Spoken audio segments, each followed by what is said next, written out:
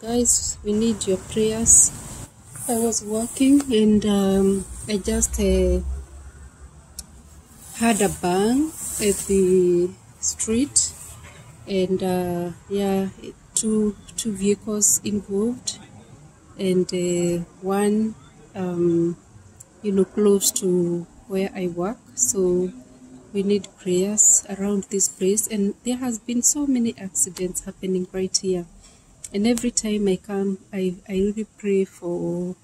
you know my shift and i pray that there is nothing terrible that will happen but it is not inside but it's a it's a place where you know the turning point. and uh,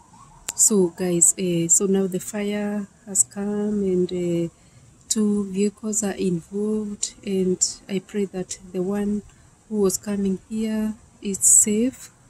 yeah these roads yes we need prayers we need prayers. Bye bye